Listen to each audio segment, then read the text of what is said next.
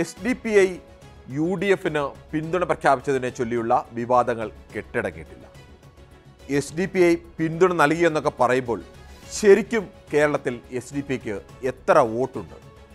കഴിഞ്ഞ നിയമസഭ ലോക്സഭ വോട്ട് കണക്കുകൾ പരിശോധിച്ചാൽ കേരളമാകെ നിലവിൽ തികച്ച് ഒരു ലക്ഷം വോട്ട് പോലും സ്വന്തമായില്ലാത്ത പാർട്ടിയാണ് എസ് ഡി പി എന്ന് പറയേണ്ടി വരും.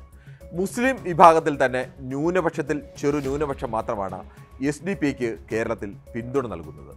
പക്ഷേ എസ് ഡി പി ഐ പുറത്തേക്ക് നൽകുന്ന ഒരു ഹൈപ്പ് വെച്ച് നോക്കിയാൽ അല്ലെങ്കിൽ ചർച്ചയുടെ ഒരു അളവൊക്കെ വെച്ച് നോക്കിയാൽ പല മണ്ഡലങ്ങളിലും നിർണായകമായ വോട്ടുള്ള വലിയ പാർട്ടിയാണ് എസ് ഡി പി എന്ന് തോന്നാം. എസ് ഡി പി പിന്തുണ വാങ്ങുന്നതിന്റെയോ അല്ലെങ്കിൽ അത് തള്ളുന്നതിന്റെയോ രാഷ്ട്രീയമല്ല ഇവിടെ പരിശോധിക്കുന്നത്. ആ പാർട്ടിയുടെ വോട്ട് ശക്തി എത്രയാണ്? കണക്കുകളുടെ അടിസ്ഥാനത്തിലാണ് പരിശോധന. നിലവിലെ സാഹചര്യത്തിൽ ജയപരാജയം നിശ്ചയിക്കുന്നതിൽ അതിന് വലിയ സ്ഥാനമുണ്ടോ എന്നും നോക്കുന്നു. ഏറ്റവും അവസാനം നടന്ന നിയമസഭാ തെരഞ്ഞെടുപ്പിൽ അതായത് രണ്ടായിരത്തി ഇരുപത്തി ഒന്നിലെ നിയമസഭാ തെരഞ്ഞെടുപ്പ് നൂറ്റി നാൽപ്പത് മണ്ഡലങ്ങളിൽ നാൽപ്പത് മണ്ഡലങ്ങളിലാണ് എസ് ഡി പി ഐ ആകെ മത്സരിച്ചത്. ആകെ കിട്ടിയ വോട്ട് എഴുപത്തി അയ്യായിരത്തി അഞ്ഞൂറ്റി അറുപത്തി ആറ് മാത്രം. ശതമാനക്കണക്ക് നോക്കിയാൽ ഒരു ശതമാനം വോട്ട് പോലുമില്ലാത്ത പാർട്ടിയാണ് S D P I. Point നാല് ശതമാനം വോട്ട് മാത്രമാണ് എസ് ഡി പിക്ക് ആകെ കിട്ടിയത്. രണ്ടായിരത്തി പത്തൊമ്പത് ലോക്സഭാ തെരഞ്ഞെടുപ്പാണ് തൊട്ട് മുമ്പ് നടന്ന പ്രധാനപ്പെട്ട ഒരു തെരഞ്ഞെടുപ്പ്. അതിന്റെ കണക്കെടുത്താലും സ്ഥിതി ദയനീയമാണ് എന്ന് തന്നെ പറയേണ്ടി വരും. ഇരുപത് മണ്ഡലങ്ങളിൽ അവർക്ക് ശക്തിയുണ്ട് എന്ന് കരുതപ്പെടുന്ന പത്ത് എടുത്താണ് മത്സരിച്ചത്. ആകെ കിട്ടിയത് എൺപതിനായിരത്തി എണ്ണൂറ്റി പതിനൊന്ന് വോട്ടാണ്.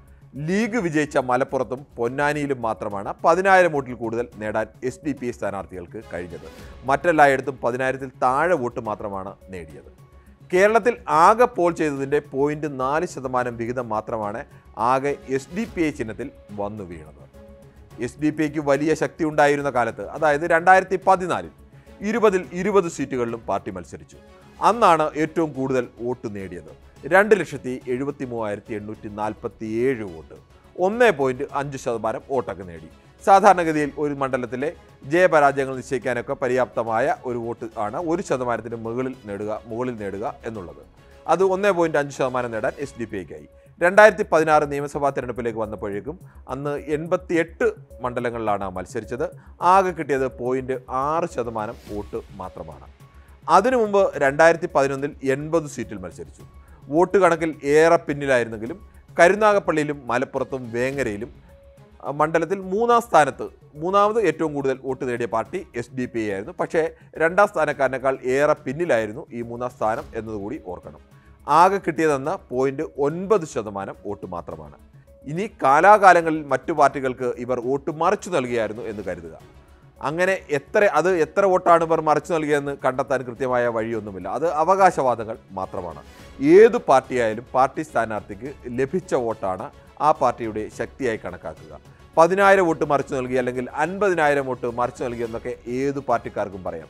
ചിഹ്നത്തിൽ വിട്ട വീണ വോട്ടാണ് ആ പാർട്ടിയുടെ ശക്തി. മറ്റെല്ലാം ഊഹക്കണക്കുകൾ മാത്രമാണ്.